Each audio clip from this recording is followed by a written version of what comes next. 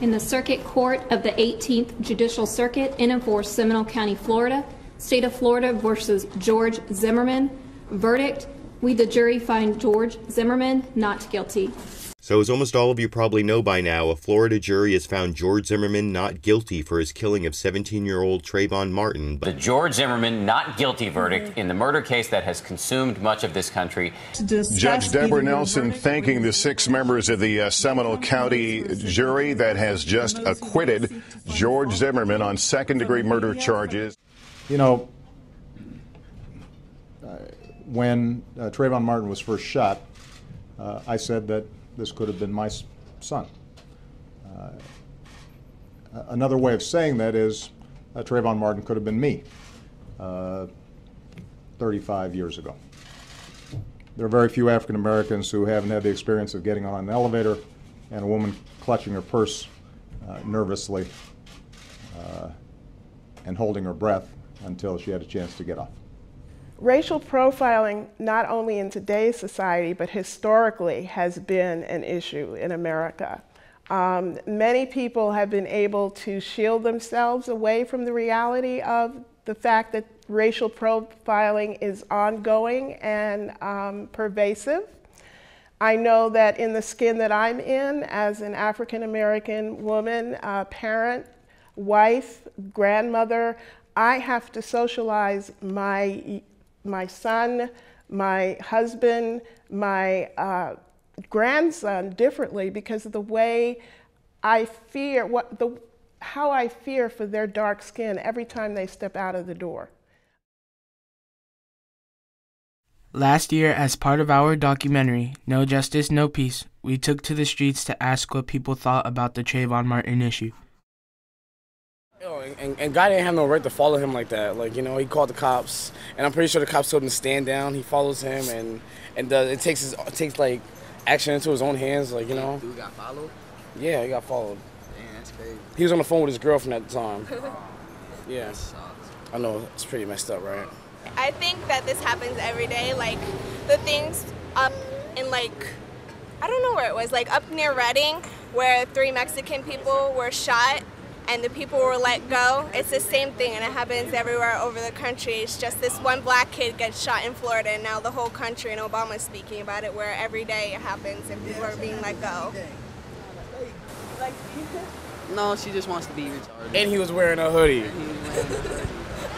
I got you. Because he was wearing a sweatshirt and a hoodie, he fit a stereotype of being a thug because, like, people dress that way trying to hide something. White people who live in the suburbs, particularly, have no contact with uh, black or brown people other than what they see on television or read in the newspaper. Think that all young black or brown people are engaged in crime, which is ridiculous because we all know that's not true, but they assume that based on what they see in the newspaper or sometimes see on TV. We aren't the only ones working with this issue. Six months ago, teens in San Francisco at Bayvac created this remix showing how media coverage impacts people's perceptions of race. Live. We begin with breaking news. This is ABC 7 Breaking News. We begin tonight with breaking news. Following some breaking news. Beginning with breaking news. Breaking news. A very vague description, only that they're black males and were wearing black hoodies. He was wearing a black uh, hooded sweatshirt. A black hoodie. Black man with a black hoodie. Over a black hoodie. Check this one out. He's dressed in a black hoodie. In black pants and a black hoodie. Black pullover hoodie. And a hooded sweatshirt. Black hoodie. Wearing black from head to toe, a black hoodie. He was wearing a black hoodie. At a convenience store, wearing his black hoodie, buying candy. But the only description we have is uh, an armed uh, black man wearing a black hoodie. They were wearing hoodies, so the description isn't too detailed. That so talked about black hoodie, now with an ominous bullet hole near the chest. Police do not have a more detailed description of that suspect. We interviewed 17 people, and only one person believed that justice was served. Uh, can you say that again? Uh, I didn't really follow the case, but the, I support the way the justice system works, and I wouldn't want to change anything about it. He was proven innocent. Like, okay. Thank you. The African American community is looking at this issue through uh, a set of experiences and a, and a history that uh, that doesn't go away. Well, you know, you almost have to think that it, it's an intentional conspiracy, that it is by design that we are uh, dumbing down the ability of people on both sides to think critically about what's happening in the world. Um, but on the plus side, I see a lot of people coming and, for maybe for the first time, really uh, standing out and putting their beliefs out in public. When do we want it? Demonstrations are scheduled today in 100 cities, including New York, Miami, Washington, D.C., Atlanta, and Philadelphia. All of this after the Florida jury found the former Neighborhood Watch volunteer not guilty in the death of Trayvon Martin. Today we came out as a community to support the Martin family on this um, act, um, not to just about Trayvon Martin, but all boys across the country, um, to come as a community to tell the people that in Tallahassee, in this world, even our president recognizes the fact that um, um, the stand of ground law needs to be shut down. We loved him. We supported him. We cared for him, just like you do your kids. Today it was my son. Tomorrow it may be yours. The main thing is, is that they really want to put pressure. They want to put pressure on the Department of Justice to really look into civil, possible civil rights violations that George Zimmerman might have had when he shot Trayvon Martin. Could you imagine what would have happened if Barack Obama had gotten cut down at an early age? He wouldn't have been the first black president. We've got to stop our children getting cut down at an early age. We have moved on from the verdict. Of course we're hurting. Of course we're shocked and disappointed. But that just means that we have to roll up our sleeves and continue to fight.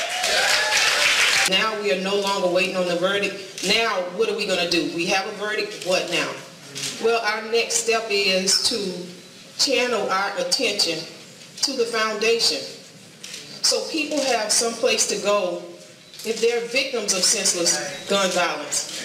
If they need to change the laws that we all know need changing. On Saturday, July 20th, to protest the Trayvon Martin verdict, over 100 cities across America held rallies, including our very own Allentown, Pennsylvania.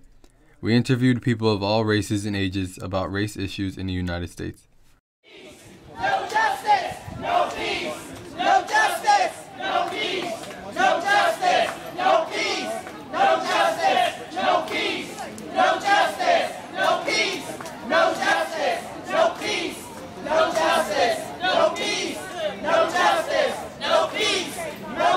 what extent does racial profiling affect you in your daily life? On my daily life, just being a black person, many times I see, you know, I see it. I see it a lot. I can, I can walk by and I hear somebody, you know, just because I'm coming by, lock their doors in the car real quick, just lock them, you know.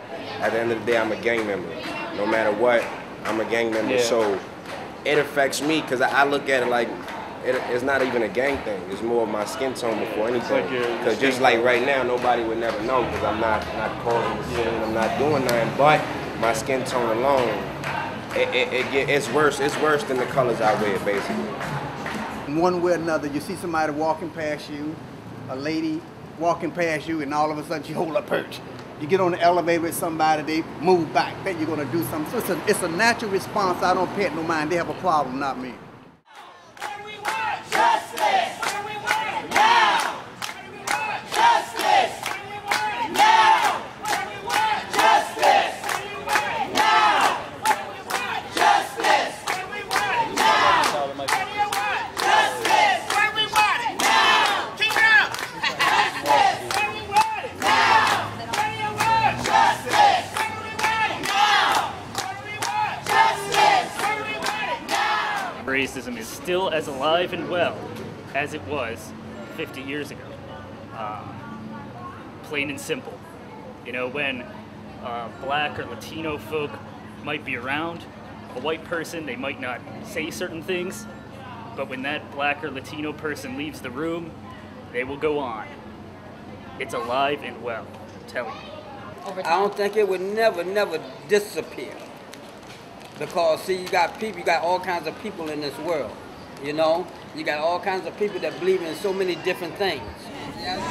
But what I want to say to us as a community We need to rally our young people together to make their statement and to take their stand for the injustice has, that has been done against Trayvon Martin. I think we've come a long way. I really do. We've made a whole lot of progress, and it's mostly because of the younger people, the younger generations that's coming up.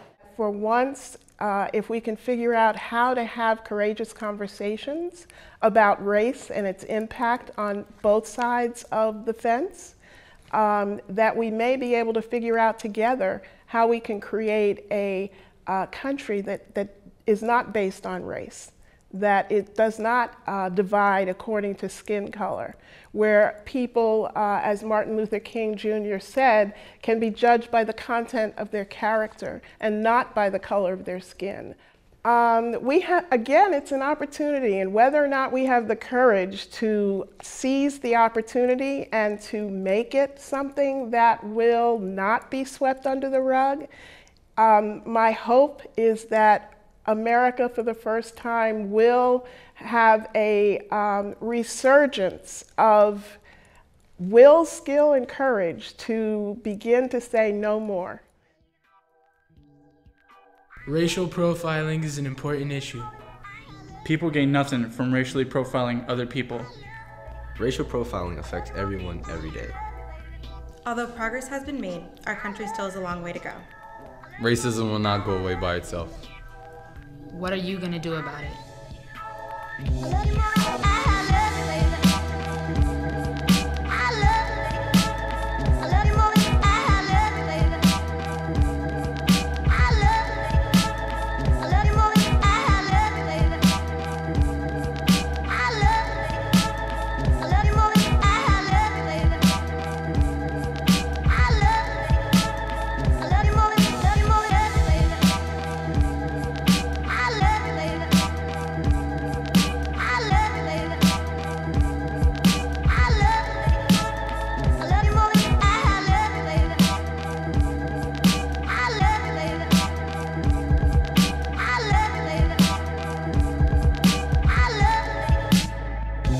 Oh,